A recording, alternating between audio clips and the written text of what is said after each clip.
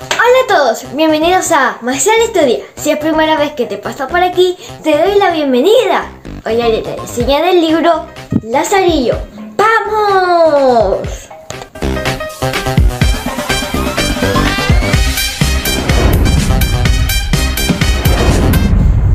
Lazarillo. Su autor es el escritor y guionista chileno Alejandro Cabrera Olea. Entre su libro conocidos están Simulacro, Soldados Perdidos, entre otros. Lazarillo nos cuenta la historia de Carbarino, un niño de 9 años que vive junto a sus padres en la ciudad llamada CI 145. En esta ciudad había una planta de azúcar donde trabajaban sus padres y la mayoría de los habitantes de la ciudad. Carbarino nos cuenta que el olor que había en el aire era parecido al... Carbarino nos cuenta que el olor que había en el aire era parecido al de un algodón de azúcar y que lo mejor eran los días lluviosos, porque así podía saborear las dulces gotas de la lluvia. Pero lamentablemente la planta sufre un atentado que paraliza sus faenas y como si fuera poco, el país entra en guerra. Este hecho marca un antes y un después en la vida de nuestro protagonista. Al cerrar la planta, muchos de los habitantes se marchan para buscar nuevas oportunidades laborales. Los padres de Carbarino también se ven obligados a viajar a la capital para poder trabajar y así conseguir dinero. Pero con el penoso sacrificio de dejar al pequeño Carbarino con la responsabilidad de vivir solo por un largo periodo, ya que sus padres regresaban muy tarde en la noche y se iban de madrugada.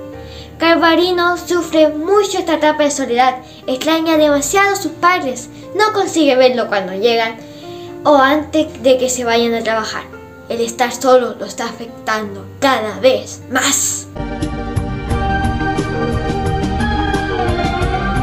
Una noche Carbarino descubre que sus padres habían desaparecido. Decidió viajar a la capital para emprender la búsqueda pero víctima de su inocencia, cae en manos de Acevedo, un terrible veterano de guerra ciego, que encadena a nuestro protagonista y lo obliga a ser su lazarillo, perdiendo toda posibilidad de encontrar a sus padres. Desde que Garbarino se convierte en Lazarillo de Acevedo, comienza la gran aventura para nuestro protagonista, que nos dará una gran lección de amistad, lealtad y madurez.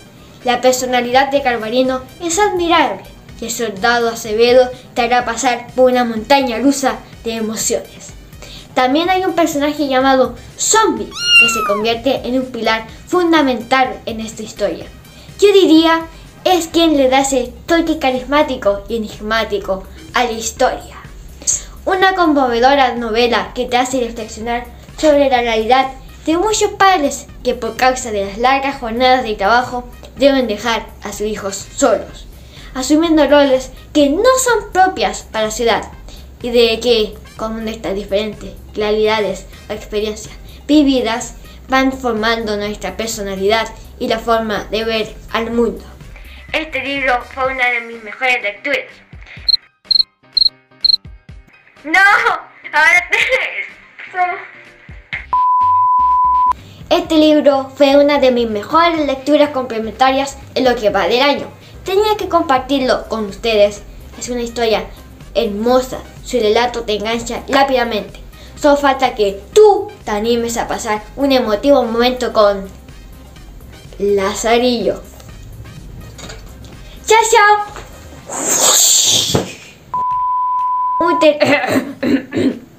ah.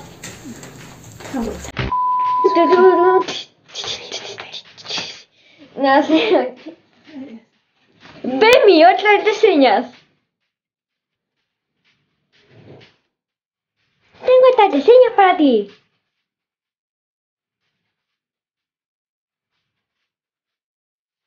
Bye.